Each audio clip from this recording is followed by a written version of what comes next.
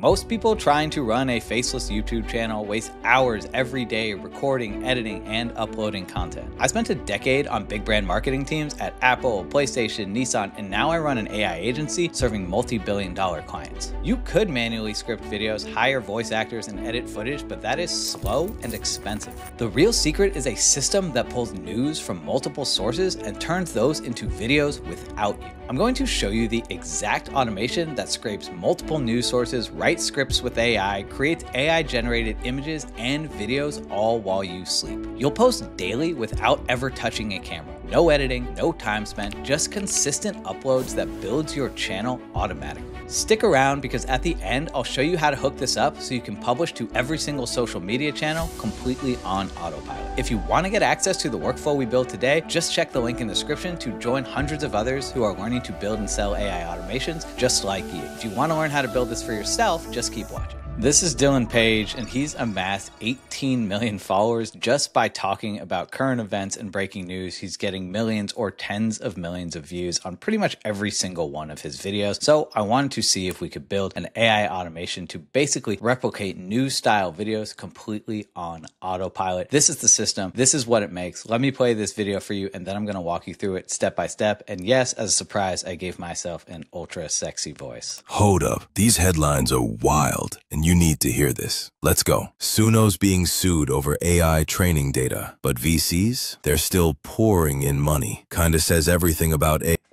So you get the idea. This basically goes on for another minute. You can make the script as long as you want. Let me walk you through the system today and show you exactly how it works. We're using a combination of things. I'm going to walk you through it at a high level. We're using Airtable as our database to basically just configure the user persona or me with an image of me and the voice we want to use. We're using RSS feeds to basically scrape the latest news and current events. We're using AI to write a script for us. In this case, we're just using GPT-4 because I actually really like the way it writes. And then we're creating an image of that news anchor, a voiceover using ElevenLabs, and then we're stitching it all together using a service called Infinite Talk, which is kind of what I showed you here. This allows you to take the audio that's generated from ElevenLabs and the image and the script and stitch it all together in a single video. And then at the end, we're just saving this back inside of Google Drive. And even at the end, as a bonus, I'll just show you really quickly how you could set this up to automatically post every single video that you create. So you literally never have to touch this workflow again. So the first thing that we're doing here is we've just set a schedule trigger to kick this off every single morning. If you're new to N8N, basically you just click the plus and you can type in schedule to set this schedule trigger. And if we open this up, you can see we've just set this to run at 7 a.m. every single morning. So we get a brand new video based off of every day's current events. The next thing we're doing is we're just going to our Airtable database to basically grab the information about me. It's really simple to set up. Let me just show you what this looks like. It's really basic. All we're doing is basically setting the mood, kind of like how do we want to talk? Like, do we want to be opinionated and passionate, or do we want to be comedic and critical?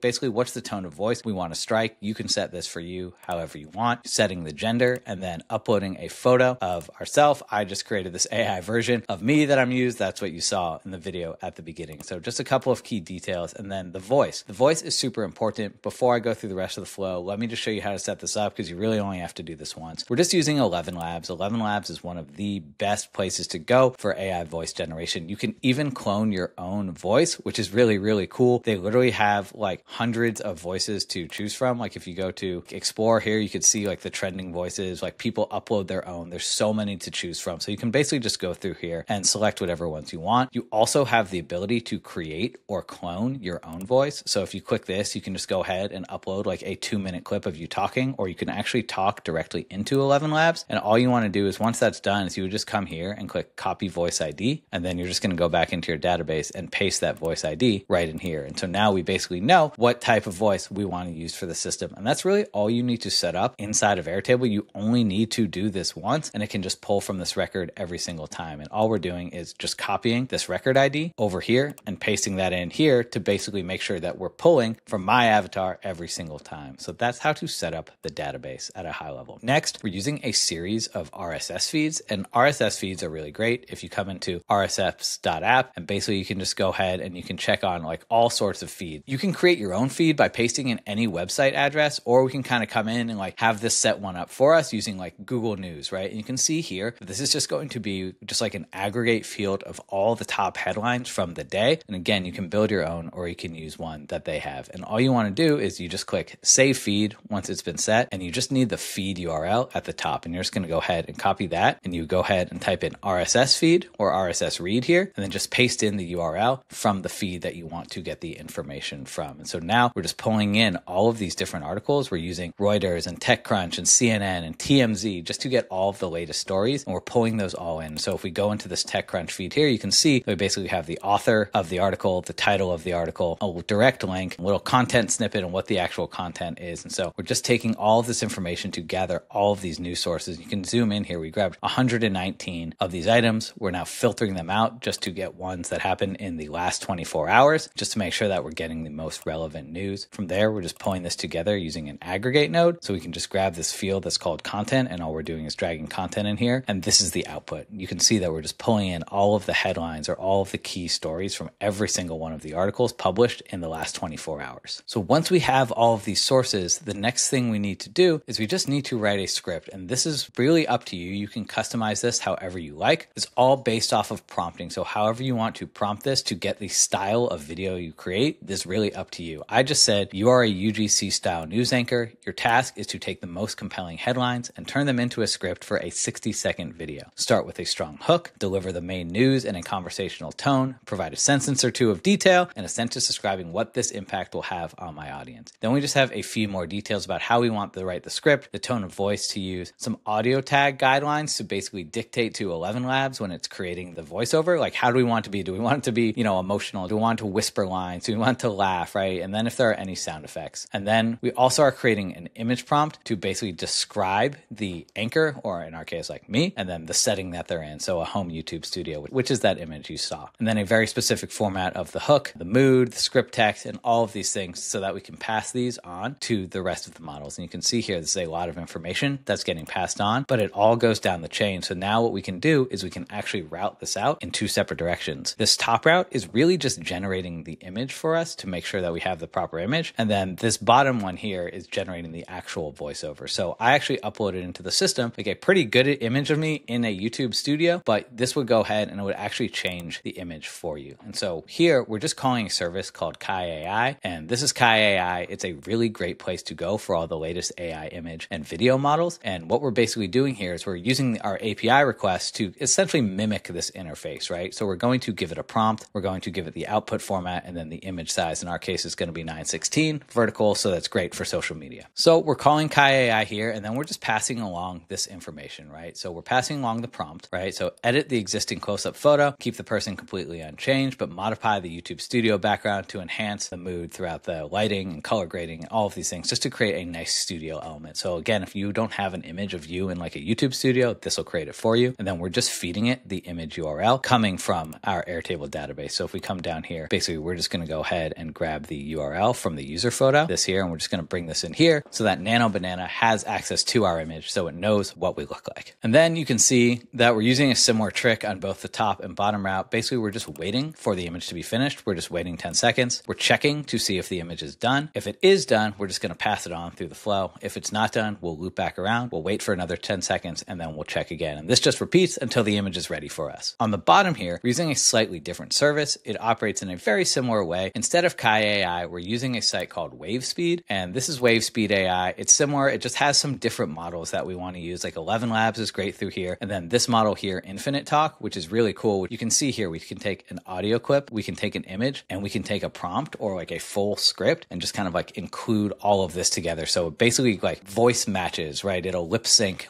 our image with the actual audio track. So it's super, super powerful. It's not crazy cheap, I will say. You can see here that costs about 30 cents for every five seconds. So the video that I showed you here is like a minute and 20 seconds. And I think this cost me, you can see here, this cost me $2.40. So it's really up to you if this type of service is going to be worth it for you. Like $2.40 might seem like a lot for a two minute video or a one minute video. But again, if you're racking up millions of views over time, maybe it ends up being worth it for you. So on the bottom here, we're just generating the voiceover. We're calling ElevenLabs through the WaveSpeed API. We're setting some parameters like stability and similarity granularity and the text. And basically, this part is the most important where we're actually just piping in our script from the AI script writer here, right? We're just taking the text. If I come down here and we see if I can find it, you can just go ahead and grab the text script, which is down here. We can just go ahead and grab this and bring this in. And now we have a whole script ready to go to create our voiceover. And then here we're bringing the voice ID that's coming from our Airtable database. Again, this is the voice ID for ElevenLabs. So that way it knows exactly what we sound like, which is very, very cool. Same thing. We're checking to see if it's done. If it's not done, we're waiting a few more seconds. If it is done, we're passing it along. We're merging it all together. And then we're calling that infinite talk API that I showed you. And so now what's cool is we can basically just pass in the key values, right? So we have our audio URL, which is saved here. We have the actual image, which is coming from here, which was generated by Nano Banana, and then the prompt, right? And we're bringing in the mood and then the script just so it understands basically what it is that we're talking about. So this is the prompt for Infinite Talk to generate our full length video. There's a few other parameters like resolution. 480p is going to be